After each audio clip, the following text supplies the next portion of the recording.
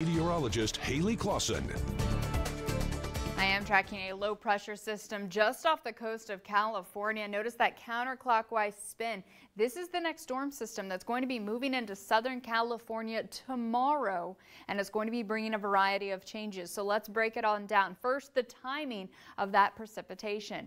We are going to be seeing our radar light up along the coastal communities as we head closer to the lunchtime hour, moving into the early afternoon hours, 1, 2 o'clock. That's when we're looking to have our best opportunity here in the Coachella Valley and surrounding deserts. Notice there's even some blue on here.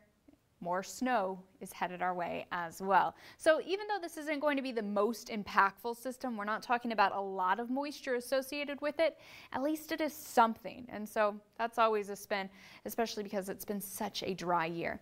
So that's in the early afternoon hours as we continue through the rest of the afternoon and into the evening. Still really going to be focusing a lot of activity up on our local mountains and then down towards the south and San Diego County. That's where uh, some of the higher accumulation totals are looking to take place.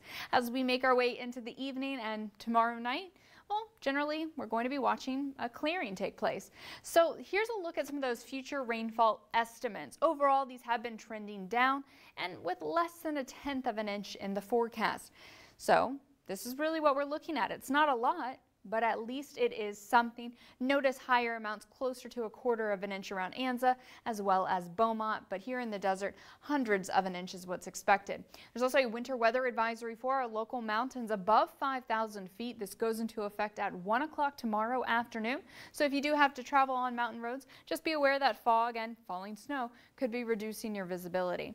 We're also going to be dealing with some wind. Not a lot, but really our peak gusts around the desert are going to range from 25 to 35 miles per hour as we head into the afternoon, staying breezy through the rest of the day as that system slides from west to east across Southern California. On your Comfort Air 7-day forecast, a big shock when we're talking about our afternoon temperatures in the 60s tomorrow, but we'll be warming up nicely into the 80s by Friday. John Karen? All right. I like the sound of that. Definitely. Thank you.